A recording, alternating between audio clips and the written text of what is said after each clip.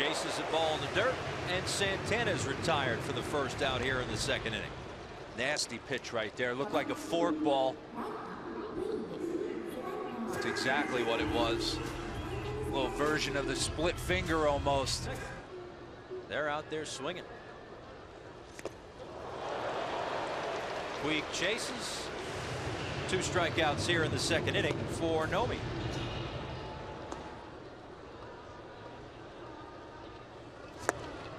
Strikes out the side. Nohmi a terrific second inning.